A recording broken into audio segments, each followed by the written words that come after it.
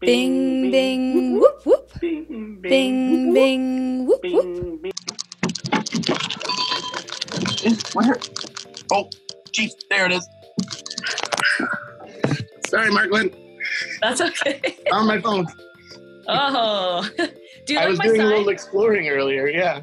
Oh, I did this just for you, Midge's fridge. Nice. You got to know whose fridge it is. I'm sure you don't want your That's husband right. sneaking in there. Yes. But uh, we figured this would be a good time since everybody's kind of hunkered down to talk about our beer fridges and what's been in there and how long it's been in there uh, and really kind of see what's been going on. All right, we'll try to flip my camera around. Hopefully, you let me know if you can see everything. So Yep. we kind of keep the top couple shelves for our high volume uh, brand. So we have some Centennial in there, some All Day, a couple solid golds hanging out on top, and a couple of those. And then some of the bigger bottles usually hang out on the bottom. So we have some of our KBS friends. Uh, some friends at Baker College actually have made me some home brews that I have hiding in here. Um, a couple Más Agaves, a Blushing Monk, a mystery bottle, and then some of our older bomber bottles that my wife and I are holding on for a special occasion, which probably honestly will be in the next couple weeks because these are the rainy days to drink some of these beers we've been saving. So, got some bolt cutter and some other bigger stuff back there and a bottle of wine. But all right, I showed you mine. What do you got, my friend? All right, let's see if I can figure out this uh, camera as well. Um, so when we bought our house, this is actually technically a wine fridge. So it had a rack, but um, so this I'd like to call this like my pace yourself bar. So you can't just grab something off the top shelf. And so kind of the opposite of your fridge, our bombers are up top, so our um, larger bottles, and then there's this thing here in the way. So little mix of all of our barrel aged beers here. Our center row here is more of our daily drinkers, if you will. So we have all day. Luckily, uh, we've been blessed with some Reds Rye cans, so we're going to drink those at some point.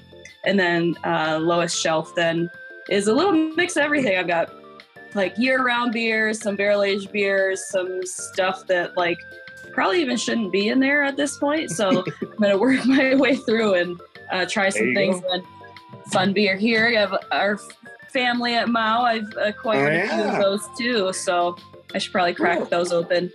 Here's a very well-rounded beer fridge.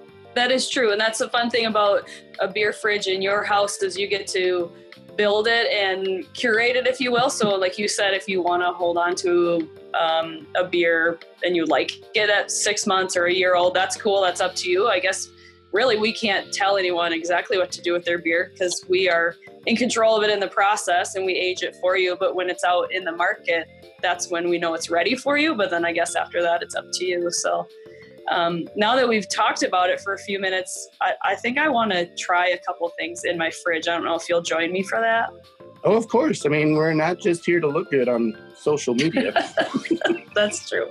That's true. but There's more to uh, us yeah, than what- our dash. what do you want to try? I'll let you go first, Marklyn. Um, I think, um, John, you had mentioned you have some unlabeled beer. I'm going to grab something that's not labeled too, and I'm going to try to figure out what it is. Oh, that'll be fun. I have one too. Like you said, we can kind of finally see those either fell off or never got stuck in the first place. So we'll see what we got going on. Let me ever so gracefully move these beers one hand, At a time. one, yeah. And if I break it, I'll have to try something else. So again, um, not sure. I do know that it's going to be barrel aged because of our gold crown, but um, this is going to be fun. All right. Well, we'll let you get started and I'll take a peek into mine. Here we go. So I have some of the fun ones down here, and my unlabeled beer Yipes! Sorry. is right up front. It's a 12 ounce bottle. I honestly don't remember what this is at all. It's a little older. Our new bottles have a little, in this shoulder section of the bottle, a little uh, Founders Brewing Company embossed on there. So it's older than that. But mine looks pretty clear. So I honestly don't know what this is. So we'll give it a chance and check it out. I'm going to set my I was just phone say- down here. You saying that like mine is not. I mean, it's a darker beer. I wouldn't say I'm visually looking at it. I don't think it's as dark as like maybe KBS, but it's. I don't know. I'm excited to try this. So, Give it a whirl. All right. You want to pop them and pour them together and see what we got Sure. going on? yep, feel like we're together. All right. I got my uh, sturdy bottle opener here. Yes, I as well. This is a multi-function tool. It's a hammer. It's a bottle opener. Uh, let's see. All right. Uh, mystery beer. Pour it into our cup here. If I don't know what it is, we'll just use the shaker pint. Since hopefully it'll work for everything. Hmm. Well, there we go. It's still looking pretty clear. What What are you thinking at this point that that beer is? I don't know. It's hard to tell. I'll let the aromas kind of come up a little bit. Normally, I'd stir it a little bit if we're doing true sensory to release some of the aromas, but my glass is so full now I don't want to spill it all over my face. This is. I mean, this could drastically change my day. What do you think you got, Marklyn? I don't know. It's got some of that golden color. I'm thinking it might be kind of a double IPA or something. Perhaps. Um, I'm gonna take a guess and say that this is. I think this is Underground Mountain Brown, which is a, a barrel aged version of our um, Sumatra, which is a, a coffee brown.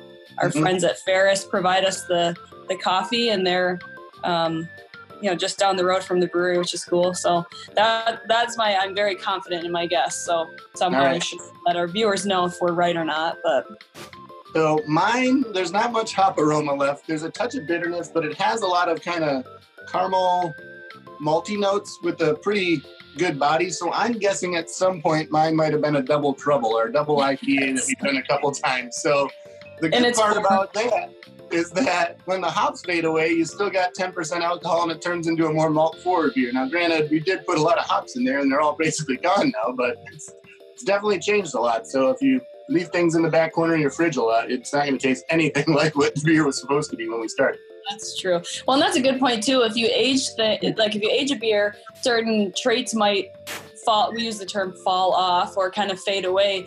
Um, it's still the the base kind of core idea of that beer is still there. So it's just you know a different experience for you. So Yeah, all right, stuff cold and out of the sunlight is the main thing. So constant temperature. I know a lot of people. Uh, I used to do it as well. Just kind of keep some things in the corner of my basement. We have a little cellar down here. But during the summer, it does get a little warmer still. So you want to try to keep it as consistent as possible. So the fridges help, but you know, open the doors every now and then and make sure you don't have a huge jar of pickles in there. I would be excited about that because I love pickles, John. I know you do not. So um, when we're back together there in the office, um, you can share those with me. Sounds good. All right.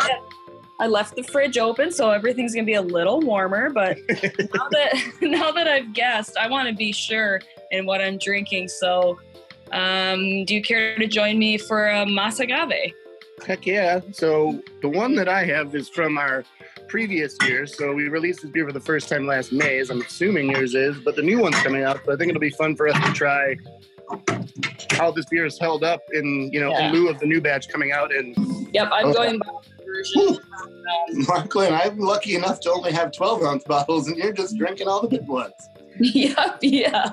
Just go big or go home. I didn't. Our Um, 30 meeting's gonna be fun. yeah.